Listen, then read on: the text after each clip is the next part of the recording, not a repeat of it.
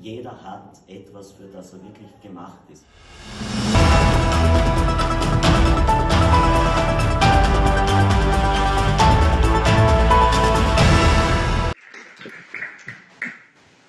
Wir fahren fort mit Malo, dessen Bilder in Nachbarschaft Hammers hängen.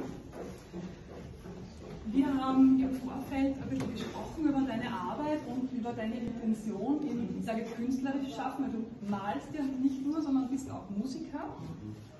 Und für dich, so wie ich das verstanden habe, ich fasse es mal zusammen, ist das sehr stark mit Passion verbunden, mit ganz starkem Willen zum Selbstausdruck, ganz starkes Verlangen, mit allem, was da in dir drinnen ist, hinauszugehen.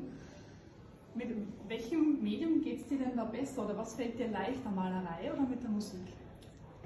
Es ist beides an sich gleich leicht, nur bin ich bei der Malerei einfach schon weiter. Also als kleines Kind war es das Zeichnen, noch nicht das Malen, aber ganz stark das Zeichnen. In der Jugend ist dann so ab 16 das Gitarrespielen dazugekommen und dann wollte ich eigentlich der Rocker werden. Dann ist irgendwann einmal äh, doch der malende Künstler äh, zum Ausdruck gekommen, seit zehn Jahren. Bin ich schon sehr glücklich mit dem Weg, den ich eingeschlagen habe, habe das in letzter Zeit auch intensiviert und verstärkt. Die Musik, die kommt jetzt wieder und mein Ziel ist eigentlich, das Ganze dann auf eine ganz eigene Art miteinander zu verweben, sodass beispielsweise ein Lied zu einem Bild entsteht oder umgekehrt.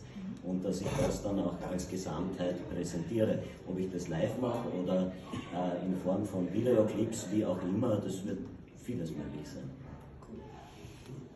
Aber mir ist es ganz wichtig, ähm, dass ich damit auch ein Beispiel geben kann für so viele von uns, äh, die, weil jeder hat von uns Talente und Begabungen, die sind wirklich in die Wiege gelegt. Ich glaube, daran zweifelt niemand.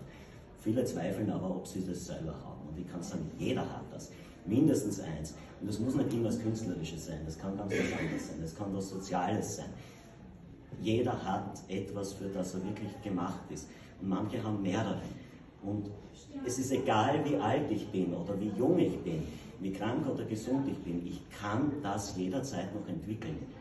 Und das irgendwo in den Dienst der Menschheit stellen. Das heißt, ich kann mich selbst daran freuen, aber wenn ich einem anderen Menschen damit Freude machen kann, ob das in der Familie ist, im Freundeskreis oder ob ich wirklich hinaus will in die Welt, das ist es eigentlich, was, was uns glücklich macht. Denjenigen selbst und alle anderen auch. Danke dafür.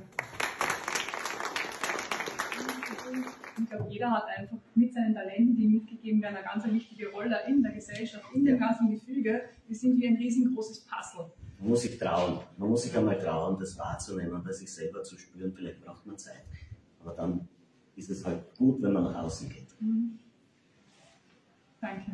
Danke. Danke. Malo.